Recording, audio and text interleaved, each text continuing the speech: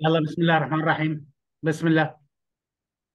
بسم الله الرحمن الرحيم. السادة والسيدات حكام ومنظمين زملائي وزميلاتي المشتركين حضورنا الكريم. كل حسب لقبه العلمي ومكانته. طاب مساءكم ورمضان مبارك عليكم وأهلا وسهلا بكم. اليوم في ختام منافسات الدور التأهيلي من الأولمبياد العلم الثاني فأهلا وسهلا بكم. Next دكتور.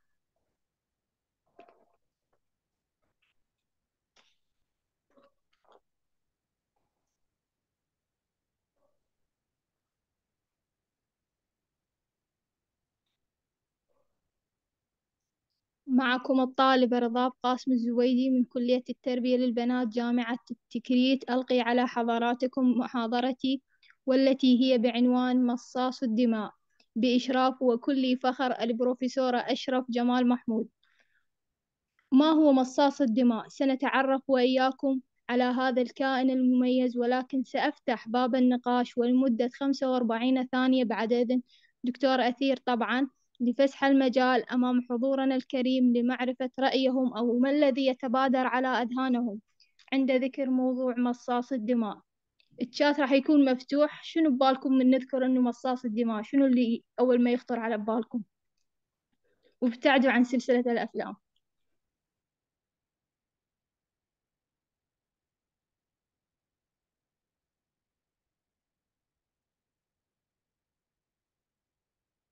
حسن يقول لك البعوض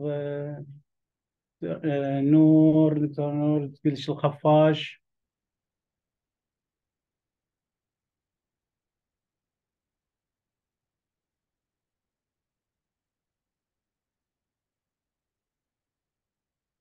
دكتور أمير أي كائن يتغذى على الدم؟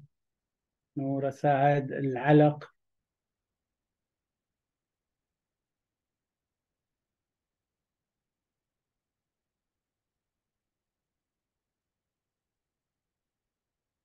طفيليات إبراهيم الشافعي. صار أكو تفاعل يعني. تمام. خلونا نشوف إحنا وياكم شو ما الذي نقصده بمصاص الدماء. سنكتشف الآن. نكس دكتور. هو تصور واحد فقط اللي عرف الموضوع اللي أنا تطرقت له.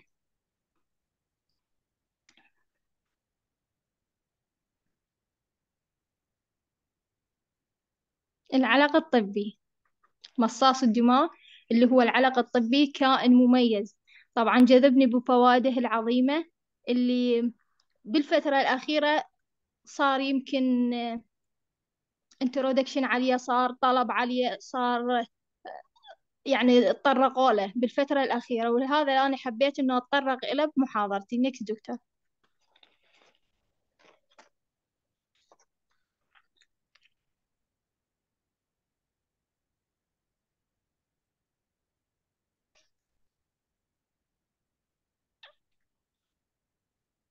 إن الغوص في عالم الحيوانات اللافقرية هي رحلة ممتعة في عالم البيولوجيا والسلوك والتطور والذي كان هو خلاصة لملايين السنين حيث أن خطوات تطور علم بيولوجيا اللافقريات قد استنفذت جهود عدد كبير من العلماء والمفكرين خلال رحلة الإنسان الأزلية.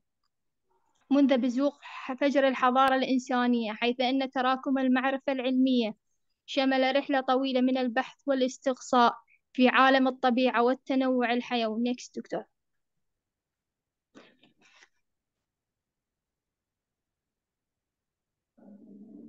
ولكن هذه الرحلة من البحث والاستقصاء لم تكن بنفس الوتيرة حيث مر العلاج بالعلق بعدة مراحل. في البداية قد استخدمه الأطباء في امتصاص الدم في محاولة منهم لكش... لعلاج كل شيء من الصداع والصمم. وقد. وقد وصل استخدامه إلى ذروته عام 1830 لأول مرة عندما ساد الاعتقاد بأن كل أمراض البشر يمكن أن تعزى إلى التهاب يسببه التراكم المفرط في الدم في أحد أجزاء الجسم وللعلق الطبي مكانا واستخداما فعليا في الطب الحديث ففي عام 2004 وافقت منظمة الغذاء والدواء على ال FDA على على استخدام العلق علاج الاحتقان الوريدي بعد الجراحة وهو يعد من أقدم الوسائل الطبية التي وما زالت تستخدم من أيام ما قبل الميلاد وحتى زمننا هذا. Next دكتور.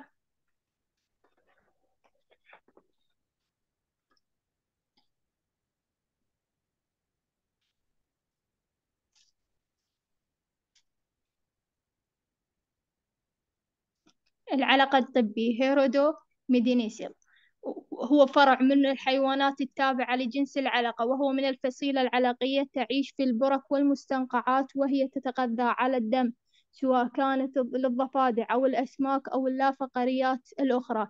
جسمها يكون أملس لا يحمل أشواك ويسمى بال Hirudinea وهو يتكون من 34 حلقة تكون متداخلة مع بعضها البعض يكون لونه بني مخضر أو أسود مائل للرمادي. وهو يكون أكثر قتامة عند منطقة الظهر كما يوجد خط أحمر رقيق على منطقة الظهر يحتوي العلق الطبي على ممصين ممص خلفي يستخدم لتثبيت نفسه على جسم العائل وهو يكون أصغر من الممص الأمامي الذي يستخدم للتغذية بثلاثة فكوك قرنية مسننة والتي تتقابل مع بعضها مكونة مثلث صغير حيث تعمل هذه الفكوك على خدش الإنسان أو أي حيوان فقري. متواجد في المياه وتحدث له جرح ذو ثلاثة شعب بعد أن تثبت الممص الأمامي على جسم عائلها ثم تمتص دمه. Next دكتور.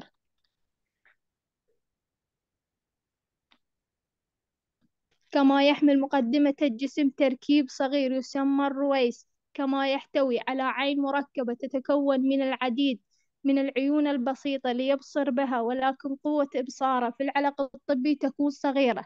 ضعيفة فهو يميز بها الضوء والظلام فقط ليتجنب الضوء ويبتعد عن مصدره ولكنه يعتمد على حاسة اللمس والاهتزازات داخل الماء ليشعر بالإنسان بمجرد نزوله الماء كما أنه يستخدم الرويس في اكتشاف التغيرات الخفيفة في درجات.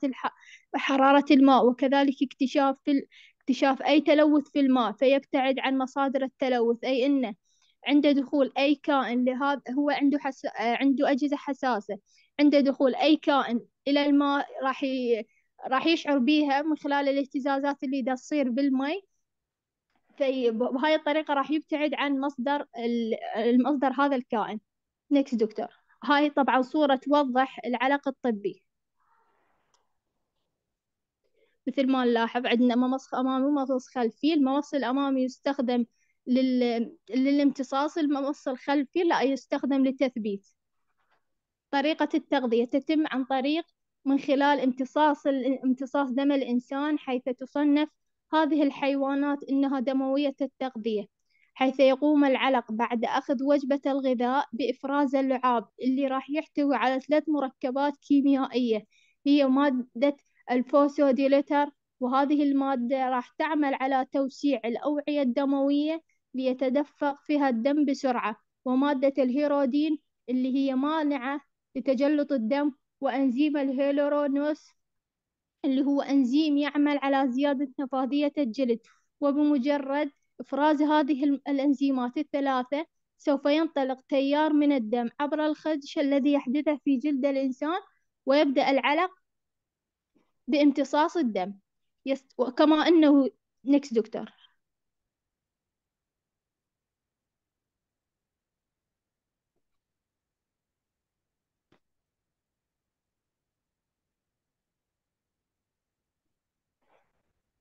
ويستطيع العلق. نكس دكتور.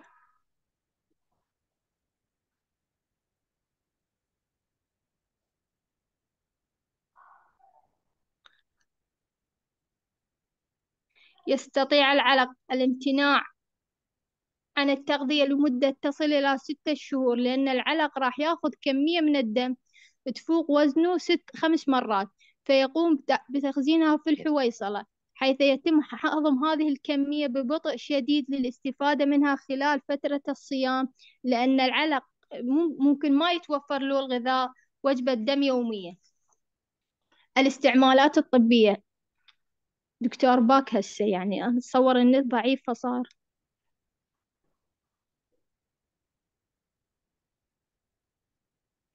الاستعمالات الطبية. يقوم الأطباء الصيادلة باستخراج مادة العلقين اللي هي الهيرودين أحد الأنزيمات اللي يفرزها من لعاب الدودة والتي تدخل في صناعة أدوية مانعة لتجلط الدم كما تدخل مادة العلقين في صناعة أدوية لعلاج التهاب الأذن الوسطى و... و... وأنزيم الفولو... الفوزوديليتر اللي يفرزها العلق تستعمل كأدوية في توسيع الأوعية الدموية. Next دكتور أما المواد الكيميائية اللي تم اشتقاقها من لعاب العلقة الطبي فتستخدم في العقاقير الدوائية أو لتخفيف من أعراض الأمراض ومن أهم هذه الأمراض ارتفاع ضغط الدم وأمراض الدوالي البواسير الناتجة طبعا عن تجلطات الدم الأكزيما والتهاب المفاصل حالات القدم السكري وتخفيف أعراض آلام السرطان وهناك دراسة أشيرت في, ألو... في الوقت ال... في ألو... وهناك دراسة أشيرت في الفترة الأخيرة إلى فعاليته في علاج التهاب المفصل التنكسي وفي أمراض القلب والأوعية الدموية. فوائدها نكس دكتور. فوائد هذا الكائن المميز جدا عظيمة. فأنا حبيت إنه أتطرق لها بهاي محاضرتي. كفائدة علمية لا أكثر ولا أقل. وأنا شكرا جزيلا لإصغائكم وأنا حاضرة لأي استفسار. شكرا جزيلا آه، رضا نفتح باب الأسئلة.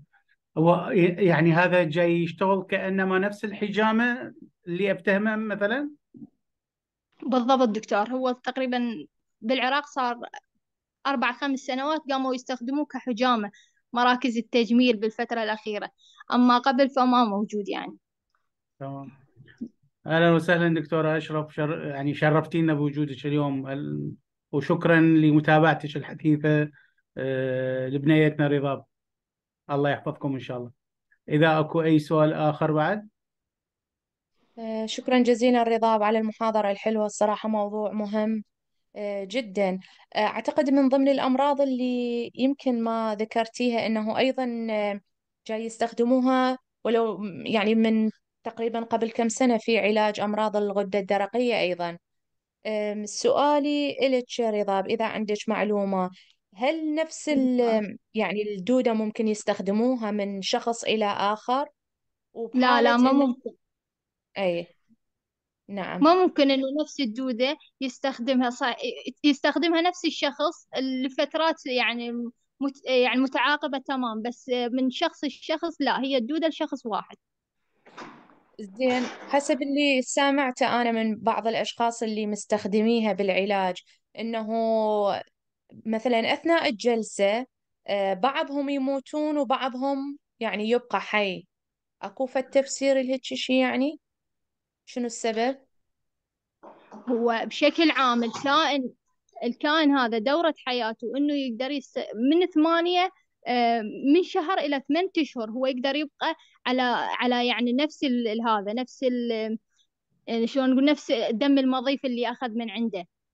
نعم. تمام. شكرا جزيلا من بالتوفيق من يموت خلص عمره معناته. من يموت خلص عمره. إي دكتور. تمام. كل التوفيق باباتي شكرا جزيلا. آه، رضاب من الطالبات يعني السبعات آه، خلينا نقول آه، متميزة في كليتها وفي جامعتها.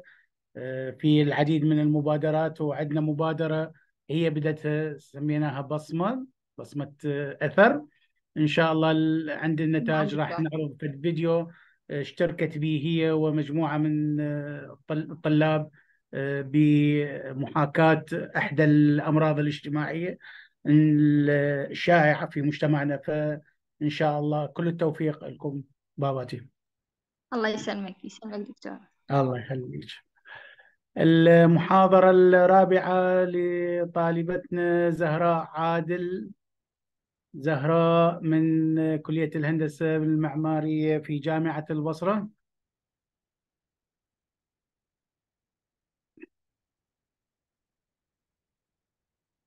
نعم دكتور. هذا عشتيش فول سكرين.